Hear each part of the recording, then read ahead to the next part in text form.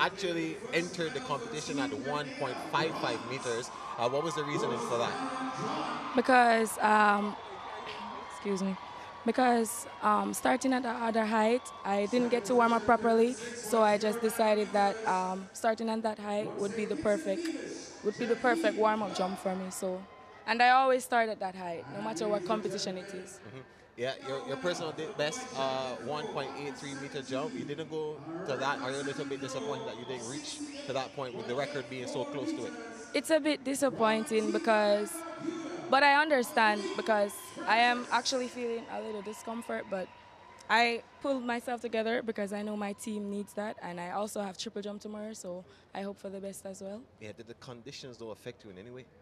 No, it doesn't. Yeah, uh, but you did have a little bit of competition from the two athletes that got bronze, uh, silver and bronze. Uh, what was it like competing against them? Did they push you to that 1.71? They did push me a little, but I'm actually used to this because I've jumped with persons who have cleared more heights than that before, so I'm used to the pressure, but I really did expect myself to do better.